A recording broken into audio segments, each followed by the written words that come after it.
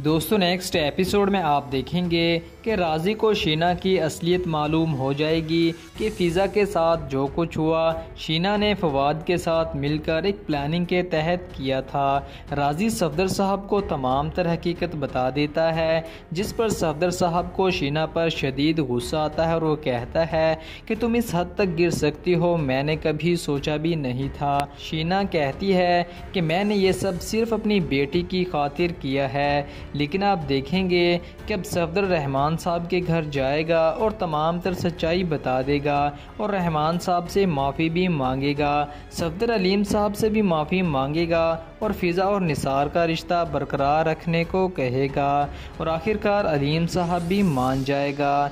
तो दोस्तों, ये सब कुछ देखेंगे आप आने वाली एपिसोड में।